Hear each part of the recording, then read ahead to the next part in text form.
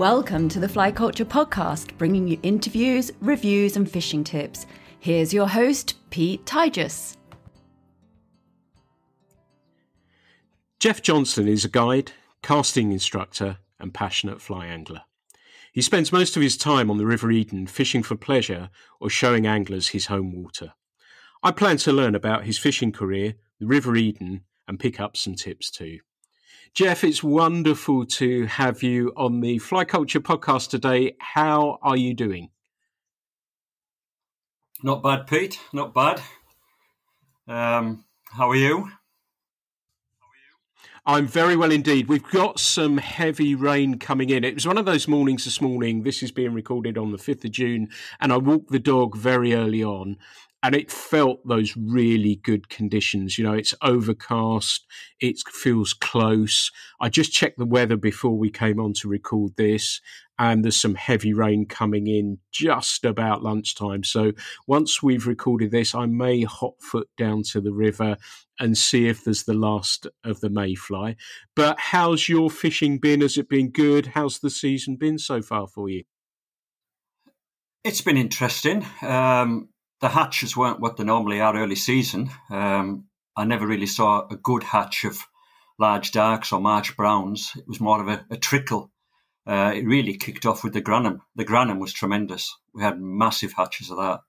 And then followed that by, again, uh, normally followed by olive uprights, um, iron blue duns. They weren't great this year, but we had some fantastic falls of black gnat, which made up for it, and some great spot on the black gnats. And then the mayfly started. Um, mayfly were good, relatively good. I mean, we don't get massive hatches of mayfly on our rivers, but we are seeing more, and uh, the fish do turn onto them. So, so I had some good spot on the mayfly on occasions.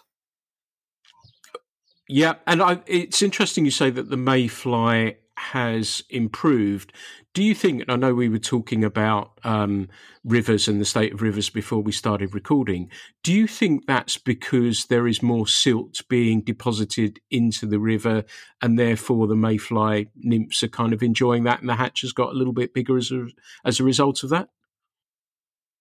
Yeah, possibly. I mean, I'm no expert, I'm no entomologist, uh, but yeah, I guess there's a chance it could be that. And I know one or two do say that. I've seen uh, comments online recently on social media where people are blaming, you know, rivers getting silted up for the increase in numbers.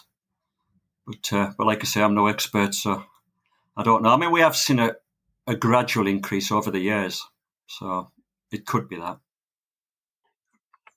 Yeah. And do you find that our hatch I always describe as that there's not a flotilla of mayflies floating down the river so that the fish become especially picky?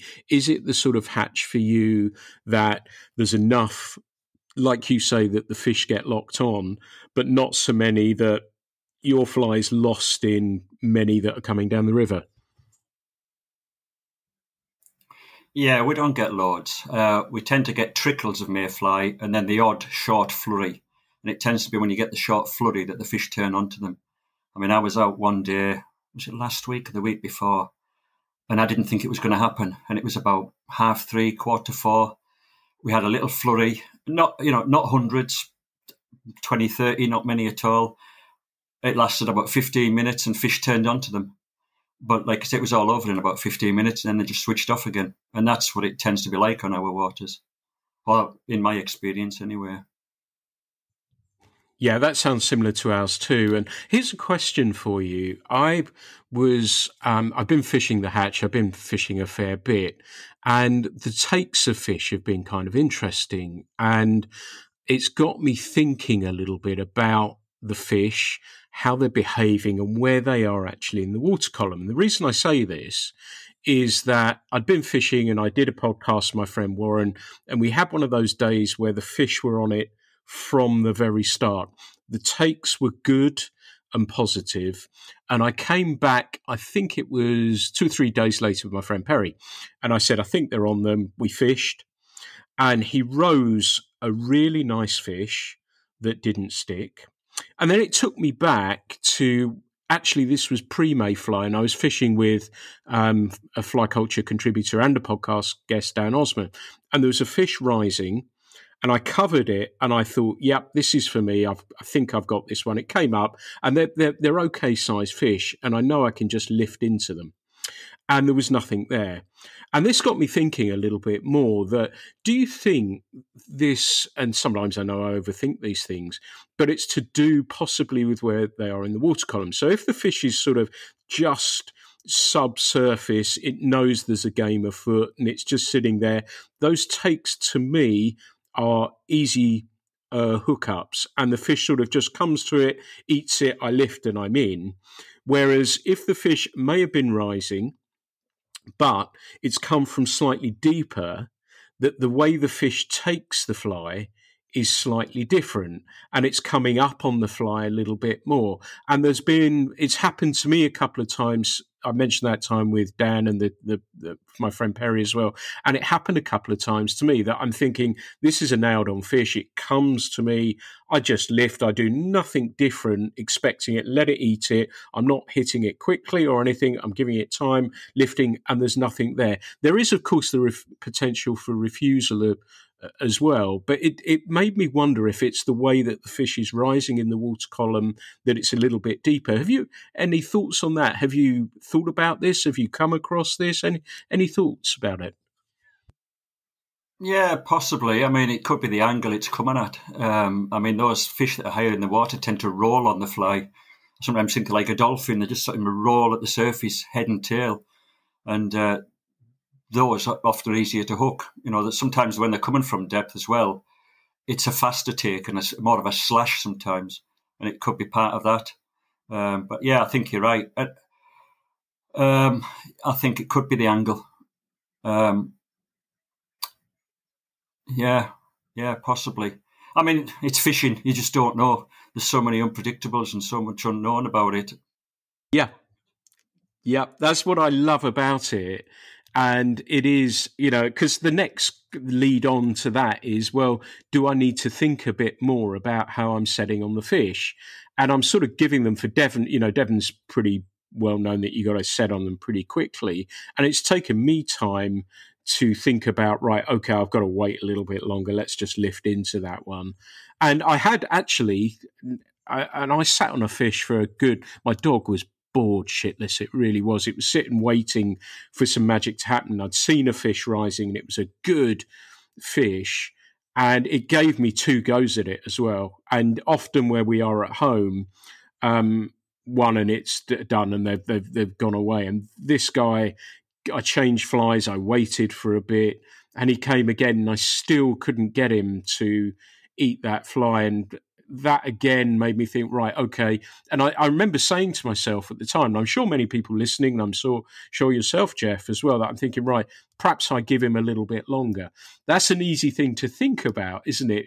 But to actually do in the heat of the moment when you know you're sitting on a, a nice fish, there's those little things. And like you say, they're the things that keep us coming back, don't they? And I, I always try and learn something from a, a, day's fishing. And this one, particularly to me, had been in the back of my mind because it happened pre Mayfly, but also I, I, remembered it kind of from last year as well. That the way they they were taking it, it I, I, guess. Do you think it could also be a, a last minute pull away as well from the fish? Possibly, possibly. I mean, I've seen that on the lakes.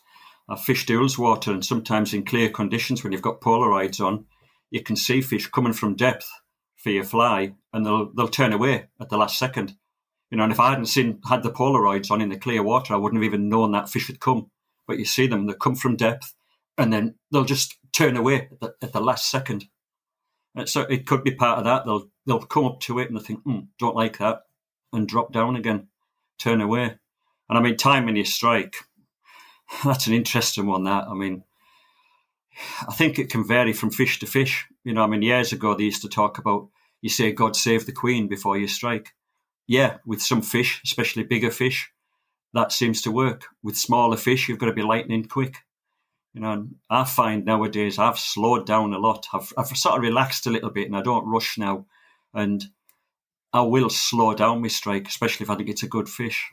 Um, I listened, I can't remember the name of the guy I listened to a podcast, uh, an American podcast, and the guy on there said, uh, I thought it was a good thing to follow. He said, the slower the rise, the slower the take. The faster the rise, sorry, the slower the strike. The faster the rise, the faster the strike. So if a fish slashes at your fly, you, you hit it. If you get that slow roll, you slow it down, you wait. And I mean, in New Zealand, that happens a lot, doesn't it? You've, you've got to let them go down with the fly. I mean, that cost me fish the first time I went out there. Well, absolutely, and that got me thinking. That's where this whole process has come from. The very, I still remember the very first fish I hooked in New Zealand, and it was almost going vertically up to take stuff. And it was I was fishing with my um, buddy Ray, and and we had a guide for our first day because we thought we might be able to find some spots, which didn't work because he took us door deep through the river and everything else. So that was never going to work. But this fish was coming up, and I was thinking, please don't miss this, Pete, when it, it came.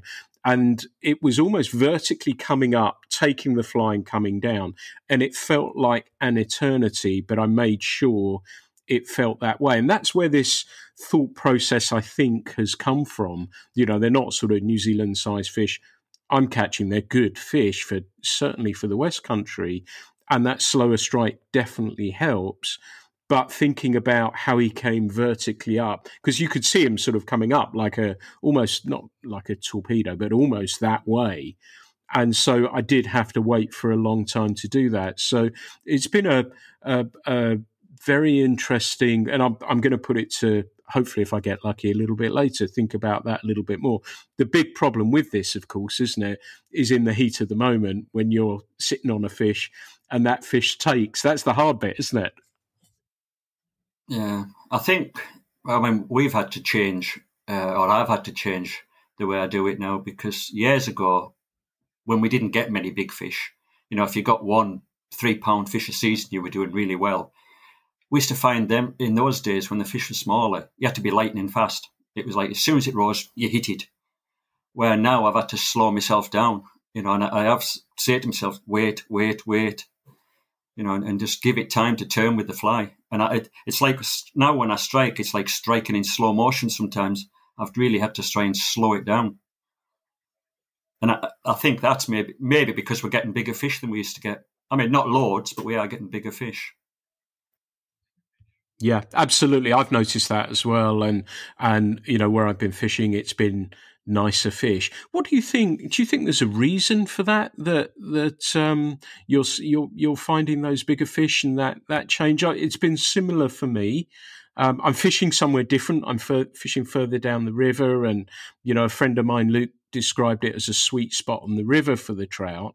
But I'm sort of not finding a fish and continually catching it. I'm finding them in different places, but I've been uh, amazed by that. What What do you think the reason for that is? Do you think there we can attribute it to anything? Well, I mean, we can have our opinions. I don't suppose we'll ever really know, but I think possibly two reasons. One, more anglers are fishing catch and release, so these fish are going back. Uh, so hopefully, you know, they're living longer, they're getting more time to grow. And I think the other reason is there's less fish. So less fish and more food for what's left. So they they may be getting a better feed.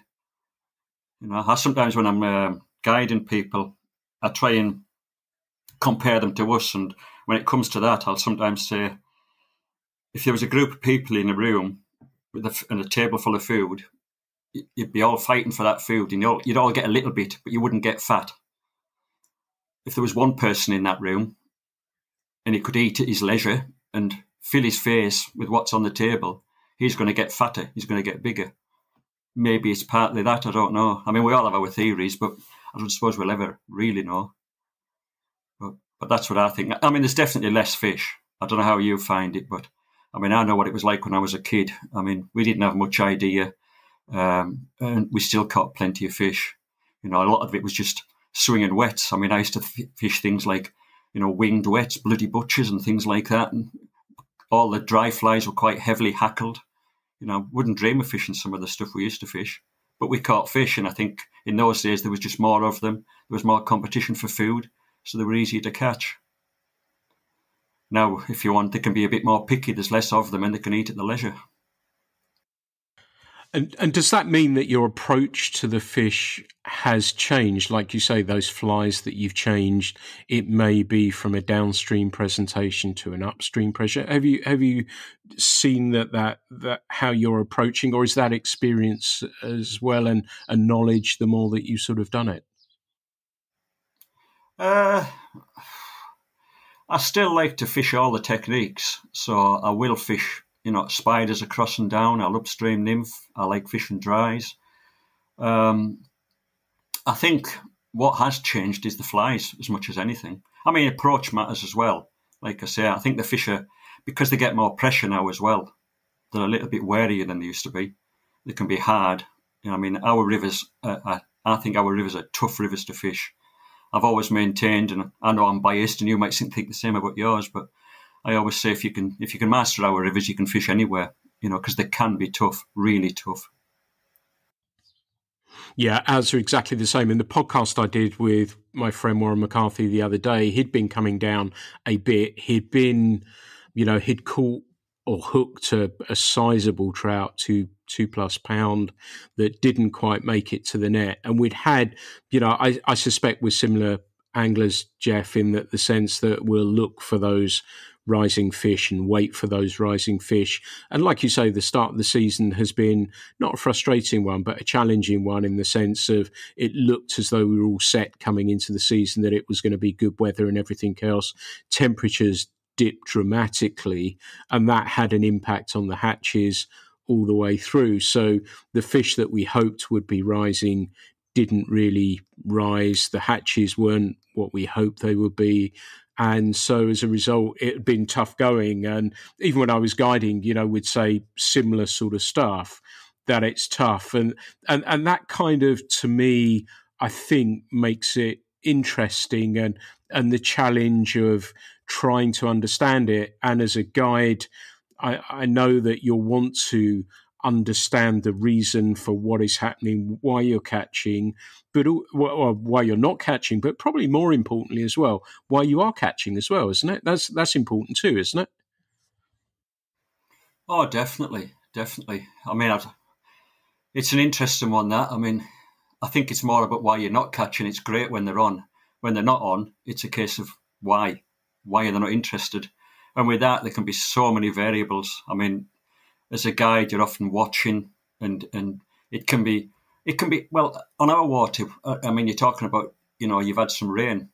We've found in our water sometimes if we get a lift, maybe just even two inch, that slight drop in water temperature can knock them off the feed for 24 hours. But not always. I mean, again, I mean, you've probably heard it. They say there's two words you can't use in fly fishing: never and always. You know, so it doesn't always happen, but quite often you get that slight lift and it's just that two inch of water and it just knocks them off just for 24 hours and then they'll come back on again. It's like they have to acclimatize to the changing conditions or the changing temperature. When they're on, I don't really think about it that much. I mean, to be honest, if they're on, they're on, and you've you know you've got to make the best of it. Um, but those days are quite rare now. I mean, like I say, it can it can be tough it can, and as a guide, it's very frustrating sometimes because you know the potential of the water, you know what's in there, but they don't always perform, and uh, that can be very frustrating, as you know.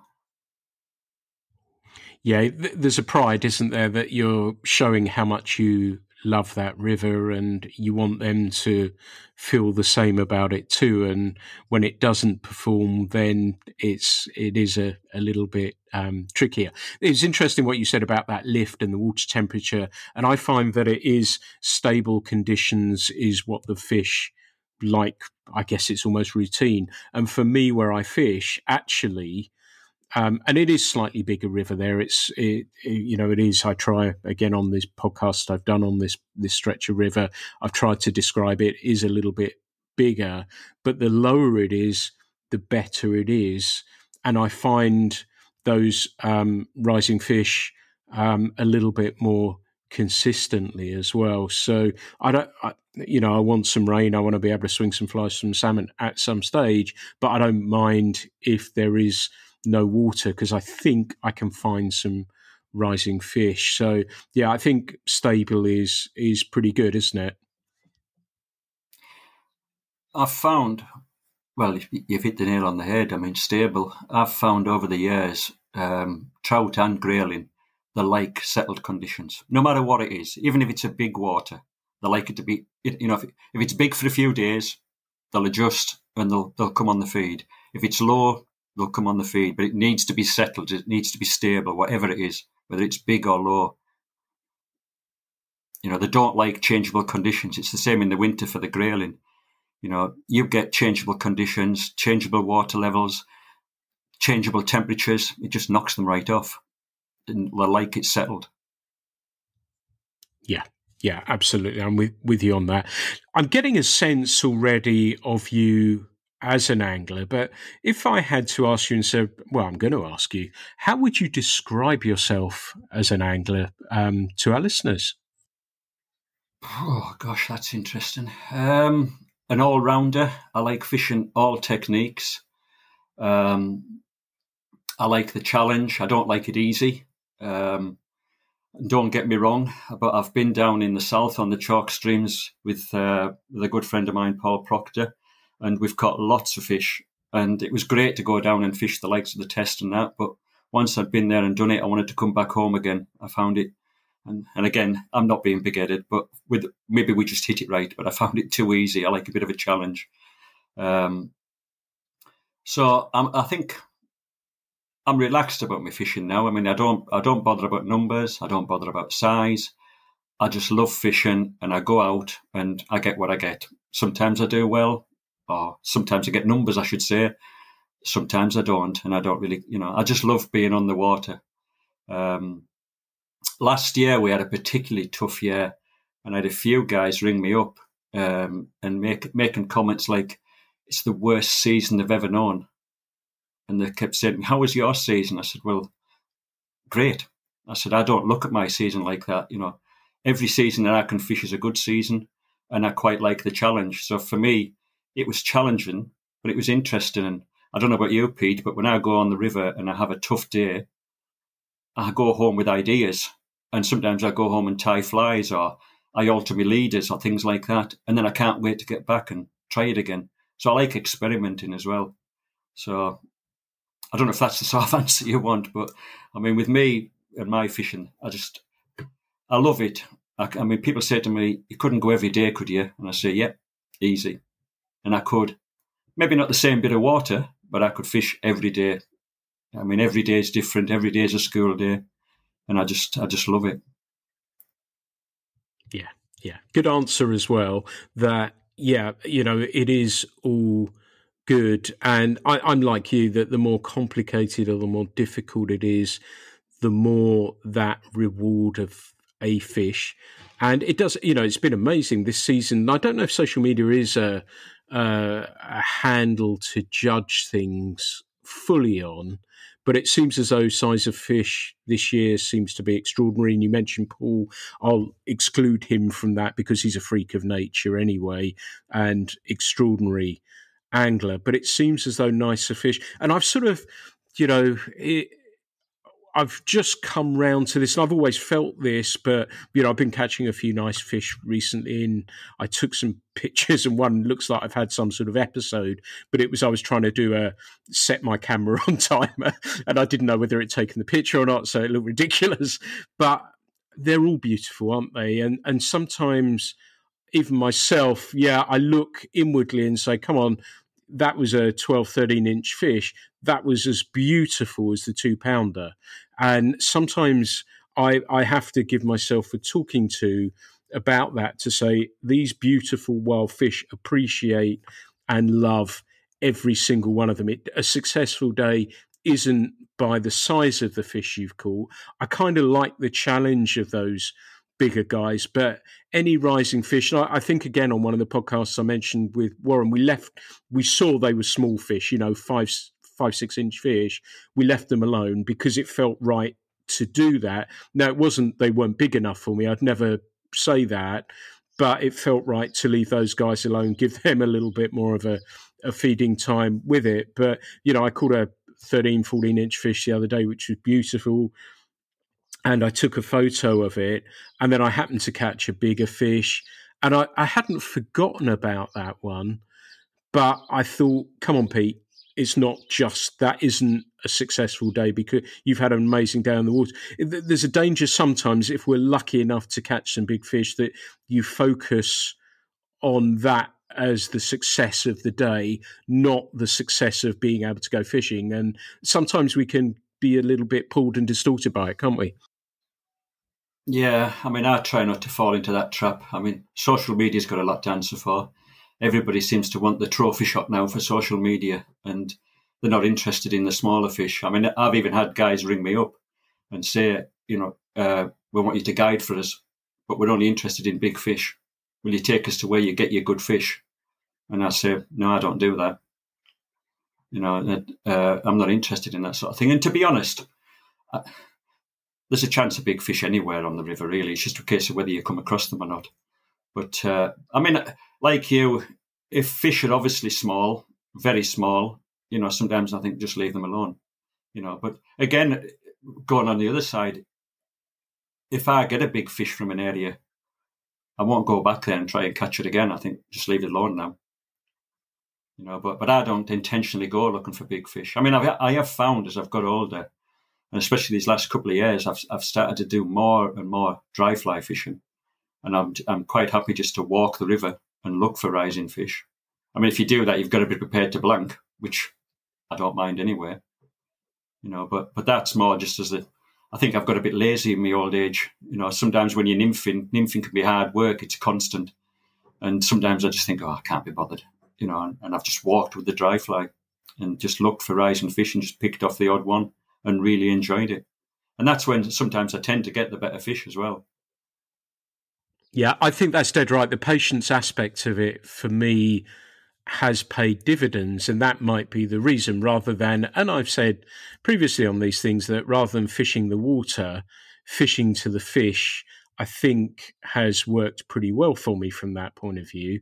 And then also when I've seen a nice fish, I've got a better chance of setting on it because I might frighten a fish away by fishing the water as well. A good one's about to come on the feed, and you could potentially. So, unlike you, that I may come away, and that again, I think sometimes with social media, and there's fish I don't, there's a lot of nice fish I've caught that I don't post um, because I try and mix everything to give people a sense of, and it's only my humble opinion. It's only what I, I try and do that it's not just about that for me.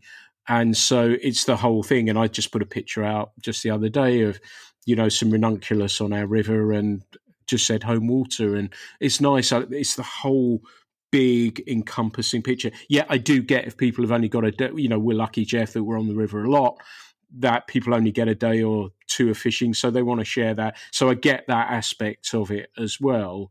Um, but I found, yeah, taking time definitely works. And I found as well, and I think I, I, may have said previously, I don't know about you, but if I've caught a really nice fish, I'll snip off and go home. That's that's fine because I always worry that I'm not going to do the next fish the honor and service that I think it deserves. So if I've caught a nice fish, I snip off and go home. Are you are you similar in that sense? Um, no, I, I mean I, I, don't snip off and go home, but I, I still like to wander. I still like being there. I still like to watch. And uh, I maybe if I get a good fish, I'll I'll carry on fishing. But I maybe won't fish as hard. I'm thinking, oh well, that's it. You know, I've had a nice fish today. I'm quite happy now. You know, I'll, I'll carry on fishing, but be a lot more relaxed about it. I mean, I haven't said that. Maybe maybe saying I'll be a lot more relaxed is the wrong thing to say because, uh, like I said earlier, I'm, I don't worry whether I catch or not. You know, I just love being out there. So, but I'll stay, I'll stay, and I'll still wander, you know, and, and, watch. And I like watching, you know. I mean, I think that's how you learn. I mean, when I'm out with people, I'll often say, "Watch, just take your time and watch." And I mean, you talk about, you know, walking with a dry fly. Sometimes, if you don't watch, you never come across these fish. Sometimes you just got to stop and look at a potential bit of water, and you might just see a little dimple or a little sip that if you'd been wandering or nymphing somewhere else, you wouldn't have seen. I mean, I had it um, a couple of weeks ago. I uh, I was on the river and I saw a lovely bit of water, soft bit of water on the opposite bank, and I thought, well, that's perfect for a fish. I'm just going to watch it for a while. And to be honest, I, I stopped and had a pee and had a drink of water and just watched it. And I just saw a little neb stick stick out, and I watched, and it came out again. Three times it came out, and then I moved on to it. And that fish was, what was that one? Four pound one ounce, I think it was. And if I hadn't stopped and watched, I'd never have seen that, never have come across it. You know, so sometimes you've got to do it. You've got to watch the water. You know, people assume that these big fish make big splashy rises. Sometimes they can make the tiniest of dimples. Yeah, that's some great advice there. And uh, I was just thinking while you were talking about that as well, about, you know, uh, what you said about guiding when people booked you and wanted to catch big fish. I guess from a guiding perspective, it's difficult if you've got a couple of people, haven't you, getting them to watch the water and be patient. And you, I know it's always nice to get a, a, a, fish in the net to start the day as well. But if you've got somebody, because they feel, I guess, and you feel you want to give value for money in the sense of their fishing, and it's, it, it's an interesting um, path to to wander down, isn't it, from that point of view? Yeah, I think when you're guiding, it's a bit of a different scenario because when you're on your own, like you said, we're on the water a lot. We can afford to walk and watch and sacrifice the day if you want. A guy that's coming on holiday and he gets one chance to fish our river, he's not coming to walk and watch. You know, so then it's you tend to work the water. You know, you're looking for the fish and if you come across a rising fish, great. But if you're not, you know, you'll use other techniques, you know, because for me, it's not all about catching fish, but as a guide, you feel obliged to try and get people fish. That's what they're coming for, you know. So not everybody. I, know a lot of guys that will come and they'll say, you know, I'm not bothered about catching. If I catch, I catch. It's just about being here. But I don't know what you were like as a guide, but you know, I think it's part of the job. You want to get people fish. Yeah, there's nothing like that first fish in the net feeling. And also that comment that you used that I don't mind if I catch fish or not. I think the skill of a good guy is actually spotting whether they mean that or not. And sometimes they'll say that, yet they want to they want to catch a bunch of fish, don't they? And then then it doesn't sort of happen uh, and play out that way. I have to be careful what I say. I don't want to say the wrong thing and upset people, but I know. I mean, I've, I've, I've, i know guys that I've had in the past, and they say they're not bothered, but it doesn't take you long to realise that they are really. They want to catch fish. Yeah, yeah, absolutely. So, tell me something. While we're on this topic, why should somebody um, book a guide these days? Why, why should they do that? Why do you? Um, how do people approach you, and and why should they book a guide if they're thinking of booking one? The way I see it, I mean, um, we all lead busy lives nowadays. Everybody works long hours. You know, they're, they're very, very busy, and they don't have the time to to put into it what we've done. You know, I mean, I don't know about you, but when I was young, we lived on the rivers, and I still live on the rivers now. You know, I love it, and a lot of people don't have that opportunity. So I see us as a shortcut to success, if you want. When it comes to casting, they don't have time to experiment and you know learn through trial and error. So we can teach them shortcuts, we can iron out any faults, um, put them right in certain aspects. When it comes to actually fishing, you know, put them right on the techniques because with all techniques or all methods, there's there's a right way and a wrong way to do it. I mean, I have guys that come to me and will use spider fishing if you want, for an example, North Country spiders, and they'll say, All I ever catch is small fish. And I'll say, Well, let me see what you're doing and they'll cast at 45 degrees, tip to the water. The flies are swinging round, wrong angle, way too fast. And I'll say, well, that's why you're only catching small fish.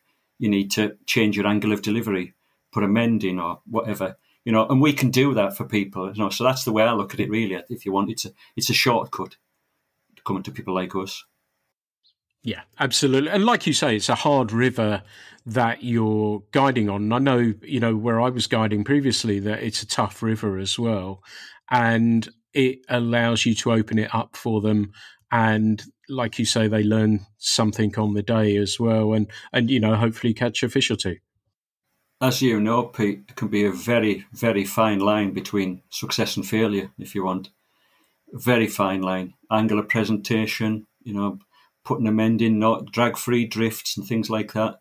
And I mean, I remember talking to, to Howard Croston about it one day, and uh, and we were talking. I said there could be a fine line between success and failure, and he says, "Oh yeah," he said it can be minuscule.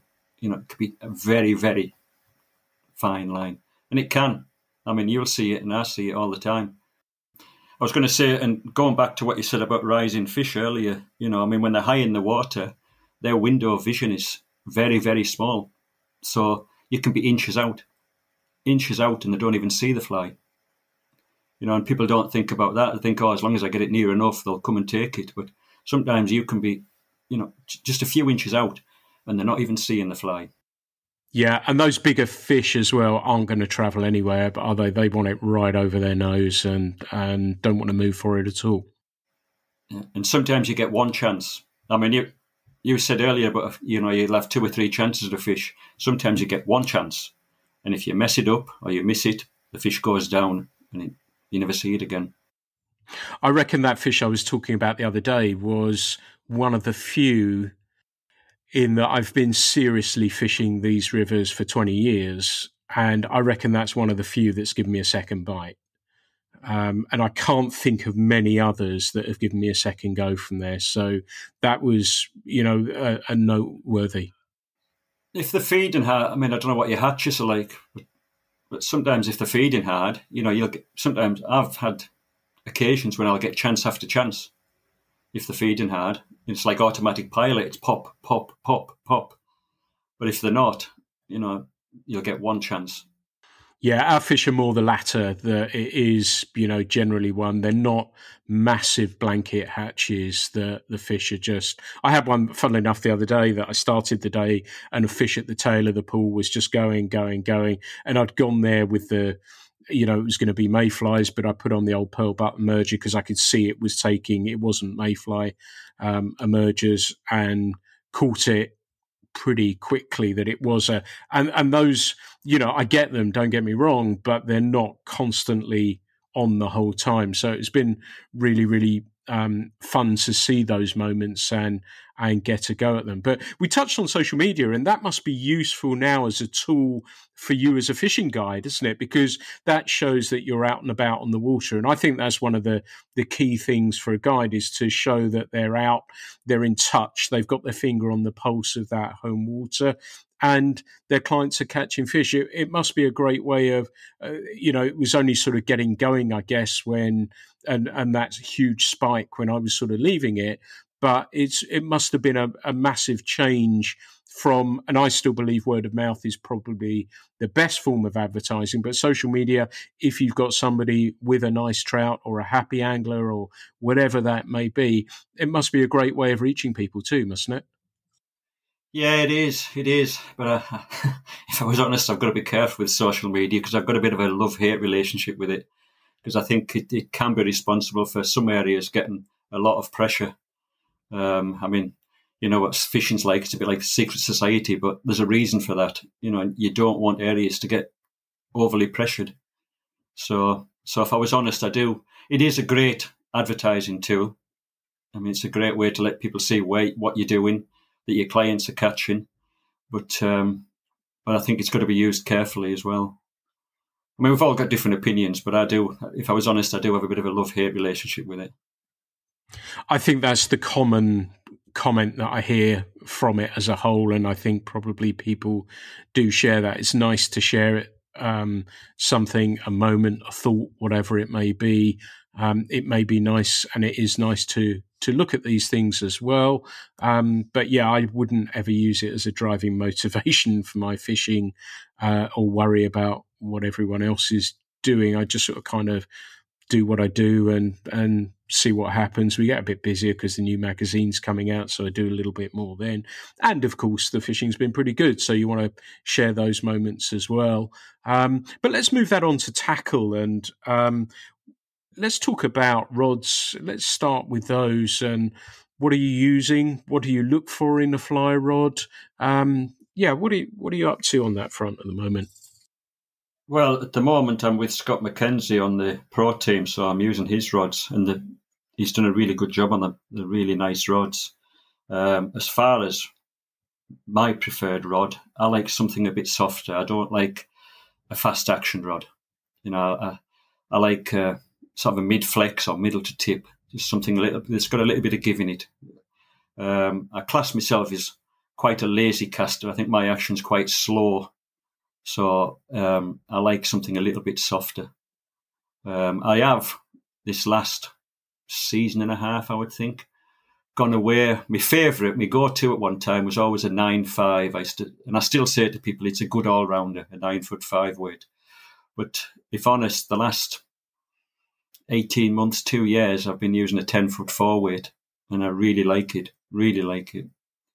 I'm not. I'm not a. I don't like carrying two rods. I'm a one rod man, and I try and have a. I, I, I want a rod that'll do anything I want really. And at the moment, the 10-4 Mackenzie that I'm using it'll fish French leader, it'll fish dry fly, nymph, uh, spiders. It'll do anything I want. So, for, if for a one rod man, for me personally, you know, it's ideal. So that's the, the one I'm using at the moment. Yeah, I spent some time with that rod, and the eight and a half for a three in that range I liked very much as well. I thought that was a, a cracking little rod, and that you know we do have this trend towards those bigger, longer rods for the obvious reasons: mending line, controlling line, etc., etc. I found I've been using where I'm fishing a shorter rod only because of the casts I've got to make, so that I've got to make a high back cast but a low forward cast.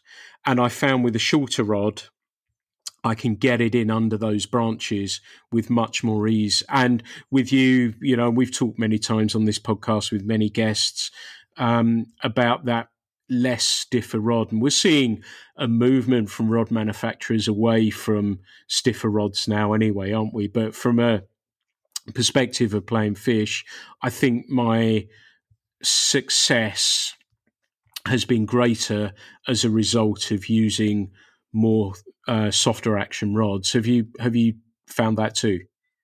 Yeah, definitely. I mean, you've got to have a bit of give in the system somewhere, you know. And, and I like a rod that'll bend into a fish. Um, and again, you know, when you're talking about that, you know, when you're playing fish, I tend to, I don't know what you do, Pete, but I tend to play from from the side more than anything now. I mean, years ago they used to talk about getting that rod high, you know, but I like to side strain more. I hate to see. I think when you play that fish with the rod high, you draw them straight up to the surface, and I hate to see fish rolling around on the surface. I'm always saying, "Get down, get down," and I'll, you know, I'll turn the rod on its side and, and play them with side strain. And also, I think you get a lot better bend on the rod as well. Sometimes when you're playing with a high rod tip, they get to a certain position where there's just the tip bending and if especially if you're getting close to netting the fish, and it makes that final dart for freedom, there's no giving the system. There's no where for anything to go, and it'll either break you or the fly will pull. So, so yeah, I do think the the softer rod's much nicer for playing fish. Absolutely. And there's not that need to throw a massive long line up the river anyway, is there? That if you can stealthily get into position, wait a bit, you just don't need to throw a ma- massive long line. And I always think the longer the line, the more chance of drag or micro drag anyway. So if I can feel I can get, and it's surprising if you've got a happy feeding fish and you are relatively stealthy, how close you can get to them. That's the case, isn't it? Good well, yeah, definitely. I mean, the way I look at it is, especially on the rivers anywhere, you know, good fishing, successful fishing, it's all about good control, good presentation. And you get that by, you know, fishing a shorter line. The longer the line you fish, the less control you have, the, the worse your presentation. So good river fishing is all relatively short range stuff, really.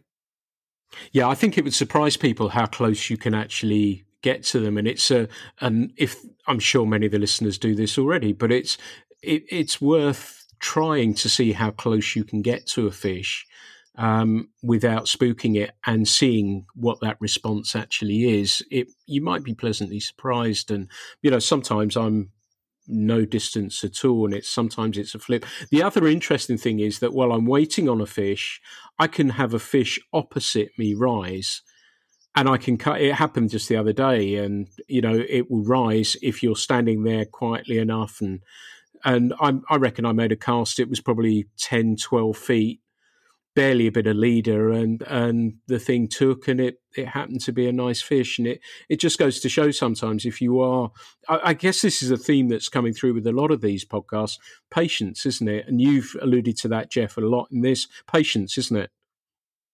I had it last night. Uh, I was on the river last night, and there was a good hatch of blue winged olives, and I was standing watching the the olives come down the river and watching fish rise, and they were moving around because there was there was quite a few olives on the water, and they were moving around picking them off.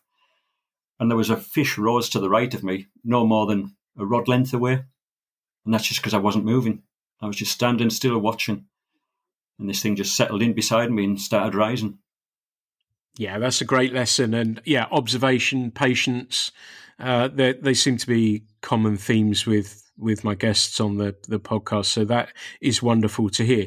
Um, you talked about blue winged olive hatch last night, and perhaps we may get some of those as well. I'll keep a eye out. And um, I know Nigel Rainson sent me a picture. He's been seeing them in down here in Devon, I think, and that will be fun. Are you somebody who carries loads of fly patterns with them, or do you? Uh, have comfort with what you have, and you have fly flies that you feel that you can probably um, catch most fish on? Um, no, I don't have a lot of patterns. What I what I think is very important is size. Uh, when it comes to dries, uh, size, silhouette. I'm a big believer in footprint, things like that. I mean, you talked about. I think before we started, you talked about reading. Um, I don't know if you've read um, Dry Flying Angler's Code, Vincent Marinaro he talked a lot about the footprint, the impression the fly makes on the surface. And based on experience and things I've seen when I've been out and about, I think, you know, there's a lot of, you can put a lot of store in that and it can be important. So I'll have, I'll have flies that different sizes, uh, duns, emergers, and maybe a few that'll give a different footprint if you want, different impression in the water. Uh, but as far as sort of colours and things like that goes, I don't bother a lot. Uh, when it comes to nymphing, again, size is important, but depth can be absolutely critical. So I'll have nymphs, not a lot of different colours, but in a, a, a variety of sizes and weights. So I mean, we're all different. I know guys that have boxes and boxes of flies, but um, if you looked in mine, you probably wouldn't be that impressed, really, because there's not a lot of different patterns. It's it's all about size. Yeah, yeah, no, I, am with you on that. I don't use many, and I've cut that back. And I've got two little boxes. I have a reserve box just in case, and my fly patch. I always said people ask about the fly, and if they've, you know, as a guide, I said just look at my patch. They'll tell you what I'm using right now, and you'll see there's not many um, patterns on there. My my fly patch has got mayflies only at the moment with just the odd pearl, but I don't really tend to, not because it's not a snob thing or anything else. I'm just really enjoying. I have more time to fish. So, like you've been saying, Geoff, I'd just like to walk the river and see if I can find a fish that wants to rise and eat a fly. And then if I can figure out what it is, and I've talked many times on here and about, you know, I love that pearl butt emerger pulls um, pattern. That's just caught me so many fish in so many places that that's a default. I'll look at a midge pattern. If there's a bit of wind, I think about terrestrials. Um, I'll make those changes. The, the pearl butt I only find for me works in a size 14. I've tried smaller. There will be cases, of course, it works, but a 14, for whatever reason that is, um, seems to work really well for me. I've got some longer ones that are a little bit scruffier that seem to work really well, but I, I don't really need a a great deal of patterns, and I think that allows me, yeah, to express what I want to do and how I want to cover that fish. And I think, as you've alluded to, it's more about the presentation and drift as well, isn't it? Yeah, I mean, yeah, and but I mean, size can be critical. And um, one thing I'll sometimes say to people when I, I take them out is, if you're struggling, if you're on the river and there's fish rising and you're struggling, stop fishing. Just stop and watch and just watch for a while. And if you and look down, sometimes look down at the water, and you'll see things floating past you. And just as a quick example, I'll, I'll uh, I had a day on the Upper Eden a few years ago, and um, there was large dark olives hatching, and there was Grannom hatching, and there was fish rising. And I thought, oh, they'll be on large darks. I put a large dark on, wouldn't look at it. Okay, Grannom. Put a Grannom on, wouldn't look at it. So I thought, right, practice what you preach. So I just stopped and I looked down. And didn't take long, just a few seconds. And I saw an aphid and I saw another aphid. And I thought, oh, wonder if they're on aphids. So I put a little size 20 aphid on. For the rest of the day, every fish I cast to, I either caught, lost, or missed. Even though there was flies on large darks, Grannom on five, six times the size of the aphids that started on aphids, and that's all they would look at. You know, and that's what it can be like sometimes. So, you know, rather than tear your hair out and go through your box, just stop and watch sometimes. Yeah, that's some great advice there, and I think you know what you've said there is is also key. That probably if you can't figure it out, it will be something very small. So my first port of call, I think, if I can't figure it out, will be midges, and then you know, like I said, if the wind's blowing, I think terrestrials immediately come in, and as part of that, the aphid side of things as well. And it it tends to be generally here back end that that they tend to eat those aphids a little bit more but they'll be around all those sorts of things. But again, it comes back to that theme, doesn't it, about observation. But yeah, if you're struggling and you can't figure it out, small is the way to go. And I, I carry a, a box, and again, my friend Warren tied some beautiful 20s, 22s, 24s that I've got ready should I need them. And after mayflies, I don't know if you find that fish can sometimes come off the boil a little bit and they'll go on to midges for a bit and then it might be caddis. That tends to be the way through with some blue wings and and everything else. But but yeah, I, I, look for those big plumes of midges, and we've seen some huge ones already this year. But that that's a good place to look, isn't it? Yeah. Well, I often think if I see a fish rise, especially if they're sipping on the flats, if I can't see what they're taking, my first thought is small. You know, if you can't see it, it's got to be small And I'll, I'll, I'll go on to midge or something like that. Um, but another thing I often say to people, and it, it may be worth thinking about, is one of my favourite sayings, and I'm always saying it to clients: a good angler is a thinking angler. You know, think about what sh- what you should be doing. You know, what angles I f- fly fishing at? What size do I want? Angle of approach, because that's another thing as well uh, to think about. And you will know all this, Pete, but sometimes you can stand in one place and chop and change flies and chop and change flies. And the fly, you, the first fly you put on might be the right fly. It might be your angle of presentation. So sometimes rather than change flies, move your feet and present it from a different angle.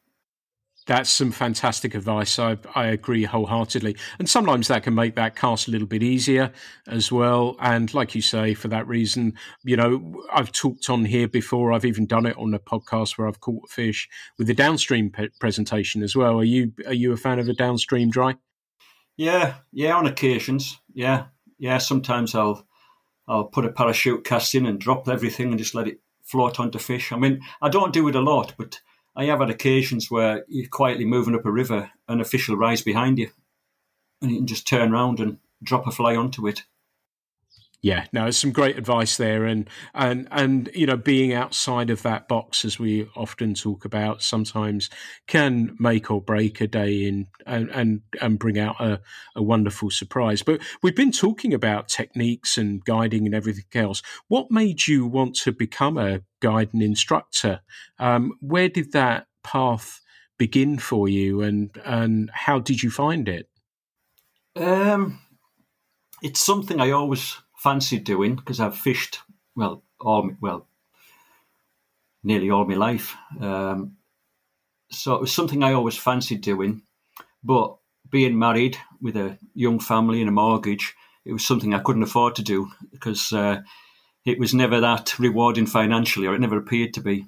But uh, I got made redundant uh, in 2007, and I was just at that stage of my life where the family was grown up and left home. My wife was working, and we weren't well off. But I was the pressure was off to a certain extent. So I thought, right, if I'm going to try it, this is the time to do it. And I thought I'd better get a qualification, so I went down the AAPGAI route. Um, got me provisional in 2007, and me advanced in 2009, and uh, and I've just been doing it since then, basically. But but the main reason I went down it was it was it, it was something I always fancied doing because of the love of the sport, really, and passing it on.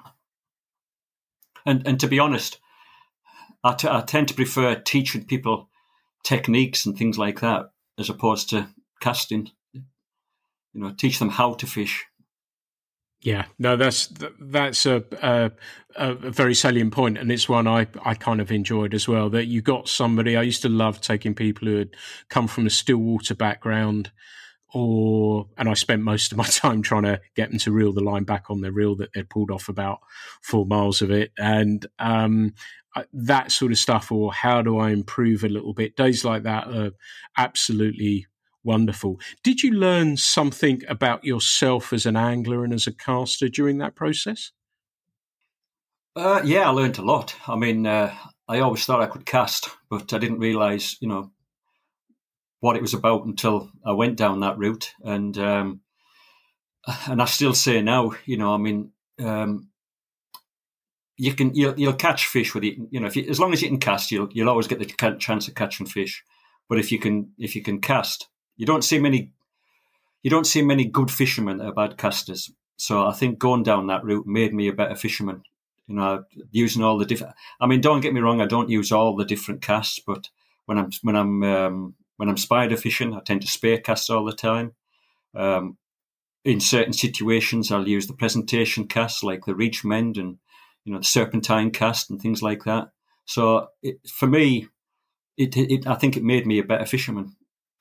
You know, and, and I often say that to people. You know, being a better caster will make you a better fisherman because you'll cope with situations much easier than you know you can if you're not a great caster or not a good caster. And that was, I think that's the difference when you get in those difficult situations, high winds or heavily overgrown banks and things like that, where you, things are a bit tight or um, variable currents where you need a, a, little bit of slack line. And I think it's a little place times like that when it makes the difference. Absolutely. And yeah, being able to cover the fish makes life a whole lot easier, doesn't it? And tell me about that first day, that first day that you had either instruction or guiding. How was that? And do you remember it well? Yeah, nervous. Uh, and like I said, I don't know what you were like, but when I first started off, I always wanted people to catch. I put pressure on myself because I want people to have a great day, and get, a great day was getting loads of fish. So, and I found it very frustrating at first because, like I said earlier, you know, you know the fish are there. You take them to all the pools where you know there's fish, and the fish don't perform. So, I used to find it very frustrating initially. I started to relax a bit after a while because you realise, you know, the wild animals, you know, they're not going to switch on when you want. So sometimes you know you've just got to accept it's not going to happen. But initially, I found it very frustrating. Yeah, yeah, and you go through that spell. I think that it's almost download, isn't it? That it, it can easily be you're teaching someone like you're taking the exam again. It just doesn't need to be like that, does it? And you know, it's a fun. You're trying to, and it's all well intentioned, of course, but you're trying to show them everything and it doesn't need to be as intense. And like you say, the word relaxed, and then you know whether it is getting that first fish in the net of the day, whatever that may be. Then once that's underway, then you discover actually I don't need to be as technical about this and and, and and all of a sudden that process changes a lot and becomes a lot more stripped out and, and a little bit more bare, doesn't it? Uh, do you find the same? Yeah, it's yeah, and it's it's it's again, it comes with experience. It's striking that balance because you, you want to show people enough, but you don't want to show them too much because there can be information download, uh, overload if you want, and they go away and the head's spinning, and it's striking that balance between not enough and too much, and and that just comes with experience. I think you know. I mean, I, I still get guys now, you know, and it's question after question after question and I'll sometimes say, "This is too much. You're not going to take all this in. It's it's too much for you." You know, but but it is a difficult one to strike sometimes. Yeah, I found that um, I stopped, and I was having this conversation with somebody the other day. I can't remember now um, about the first thing you tell people or show them they remember the most. So I stripped out talking about the tackle till later because why do I want them to know that we have different lengths of rods and lines and everything else as the first thing? Let's teach them a cast and let's show them how to do that rather than giving them that information that's probably going to be the, the main chunk that they hang on to that, that largely speaking isn't the most important. Yes, it's important, but I'd much rather they could cast a fly line so that when they'd had a day with me, that they could go fishing for the rest of their lives. So you sort of change, don't you, that process of of of the teaching and and, and alter it. Yeah, and another thing I've found as well, apart from the cast, I mean, normally after I teach, I normally show people two casts: the roll cast initially, and then the overhead cast. I think the roll cast's a nice, relaxed cast, and it just gets them used to the feel of the rod, um, power application, things like that. And then I'll, once we move on to fishing, the first thing I talk to people about is rivercraft, being able to read a river, because I find a lot of people can't read a river.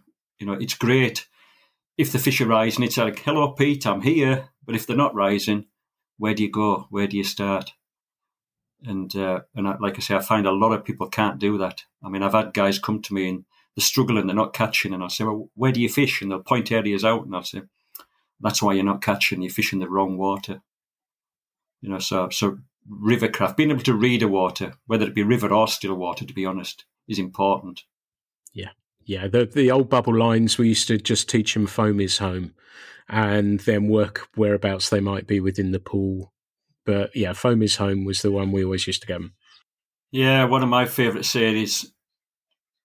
I used to say, think of the well, I still say, think of the river as a food factory and it's a conveyor belt. This moving water is a conveyor belt, and it's carrying the food to the fish. And where is this conveyor belt going to carry the food? Where does it concentrate the food? Look at the channels. Look where food will be funneled, because that's where the fish are likely to be. Yeah, absolutely, absolutely. Um, we've been talking for over an hour now, so we're going to just take us in another direction. I told you we wouldn't. I had. I always um, say to my guests that I have some rough questions, but I do really try hard to let the conversation flow as naturally as possible. And as it has done today, we've been chatting over an hour. But tell me, Geoff, that away from home, where is your dream destination? Where is the place? That you love to fish, or where is the place you would love to fish? Uh, well, don't get me wrong, Pete, uh, but I'm 64 this year, so I think my options are limited. Um, and I've been to New Zealand twice, and I'd, I'd, have been well, I'd have been another two times if it hadn't been for COVID, because the plan was, as long as I've got my health and I can afford it, I'll go every year. So my dream destination is New Zealand. Um, there's other places I'd probably fancy going. I mean, talking to to Paul Procter, you know, I mean, you know how much he travels, and he's been to some fantastic places. And there's one or two I'd be tempted with, but but now I think me it, time's limited, and it's it's just New Zealand's the priority. If I can get back there, that's where I want to go. And I love it over there. And plus, as well, there's no nothing wants to kill you over there. There's no snakes or anything like that, so I like that as well. Yeah, I'm with you 100% on that one. Snakes are the only thing I hate. And yeah, you can walk through the grass, everything else, there's nothing rattling, slithering, or curled up ready to bite you. So I'm perfectly with you on that one. That's a good choice. It is amazing how it is such a an amazing place and so many people choose it as their dream destination. Tell me something else. If you're going on a road trip and you had to have a song to start that road trip, what would your song be? What would you choose? I'll put you on the spot a little bit with this one, but what would you choose? What would be the one that would be the sound? I'll tell you what, if you want them, you can have two songs. What would be the ones that would um, set the tone for that road trip in the car as you got in on an early morning on the way to a river somewhere? God, that's a difficult one. That it depends on the mood. Um, I mean, I tend to like. Well, I'm I'm back. I'm into Creedence Clearwater again at the moment. So maybe Green River. Um, I like um, Chris Rea. So it's maybe not an appropriate one for going to the river, but Road to Hell, something like that. Nice, nice choices. Absolutely. Um, Tom Tom Petty, I like. Uh, um, I've got Bob Dylan's greatest hits. Some of his songs are, uh, you know, are really, really good. So I think a lot depends on the mood. I don't know about you, but sometimes if I like something a bit slower, and then sometimes I like like something a bit more upbeat. But but probably Chris Rea or or Creedence Clearwater at the moment. Nice, nice. Nothing wrong with those at all. Um, you said Tom Petty as well. I remember last day of fishing, I took a group down to Montana a few years ago, and the guide um, Vern had Tom Petty in his car, and I thought, yeah, I'm in Montana. Um, we're heading back. We've had an amazing trip. And Tom Petty, because I, I didn't know who it was. And he said, Oh, I said, Who's this? He said, Tom Petty. I said, Yeah, it's a great soundtrack. So, yeah, it's always nice to hear people's choices. So, what is your perfect day on the water? How would you describe that? I've got the sense because I think we've probably circled round it, but what's that perfect day on the water for you? Oh, nice, relaxing day. Uh, fly on the water, fish rising and just wandering around picking off rising fish. Like I say, it doesn't have to be many, um, and, and, they don't have to be big either. Um, I mean, getting back to social media, it's not a dig at social media, but you know, I've, I've noticed, and I do it on purpose sometimes because I love all fish. Like you said earlier, no matter what the size, and sometimes I'll I'll put a picture of a small fish on, and it's interesting how many. Not that I, I don't do it for likes, but I, I, I laugh, I smile to myself sometimes because you see how many likes you get for a small fish compared to a big fish, you know, and there's no comparison. You know, I put, I mean, this year I was lucky to get me biggest ever UK fish, uh, and I got hundreds and hundreds of likes. You know, and I'd put a, a, small fish on, and you you might get half a dozen if you're lucky. And like I say, I don't do it for that, but it's just it makes me smile sometimes. I think, mm, you know, they're both beautiful fish. Size shouldn't matter. Don't don't get don't get me wrong. I mean, I'm not criticizing people that like big fish. You know, I, I, would never ever do that. You know, we're all different. We've all got our own thing. You know, but to me, I just think they're all beautiful, and it's never bothered me size or numbers. I'm not a fishmonger. You know, uh, it, it's never bothered me. It's I'm lucky. I've had some nice fish, some big fish, but you know, even the even the small ones. You know, the lovely fish. I mean, I don't know about you, but I look at them sometimes and I think, God, that's beautiful. You know, and sometimes when I do get fish and I'll take a picture, I'm always very, very careful. I keep them in the water. I mean, if anybody looks at any of the pictures, sometimes they'll see water dripping off the fish because I've got the camera on a timer, and you know the fish never comes out of the water until it's the phone starts beeping. Uh, sorry, the camera starts beeping. But even then, I put it back and I think, oh, I hope it's all right.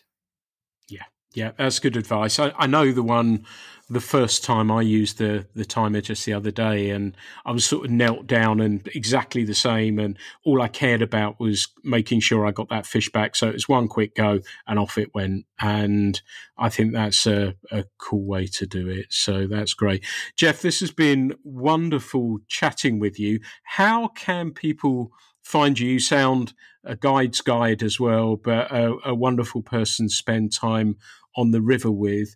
How can people find you? Um, what's your website details and your social media handles should they want to find you? Uh, social media is just the Eden Angler on uh, Facebook and Instagram and Twitter. Um, the website is www.theedenangler.co.uk. Um, most people find me through the website. Brilliant. Absolutely fantastic. Geoff, I've really, really enjoyed talking with you this morning. Um, thank you so much for taking the time to talk with me today. I've thoroughly enjoyed it. Thank you, Pete. I've enjoyed it too, and I hope it's been all right for you. Absolutely. I've really, yeah, I, th- I think listeners will enjoy it as much as I have done to listening and, and learning a little bit. And, you know, like I said, the conversation's taken a, we were going to talk about Charles Ritz and all sorts of things and how smoking was intertwined with fishing. Never went there, but it's not a less conversation for that. I've really enjoyed, and I think, and I hope listeners get um, some value out of that and learn a little bit and, and take something from your skills as a fishing guide as an, and as an angler as well. So thank you so much, Geoff. It's been brilliant talking with you today. Come everyone. This has been the Fly Culture podcast. Thank you so much for listening. Um, as you'll see, these aren't scripted, they are not edited, there's nothing changed on them. The conversation just goes where it goes. And I hope you've enjoyed it because of that. And if you have, perhaps you'll consider subscribing. And um, thank you so much for listening. There'll be plenty more of them coming very, very soon. The Fly Culture podcast is brought to you in association with Fly Culture, a quarterly print magazine. For more information, please visit flyculturemag.com.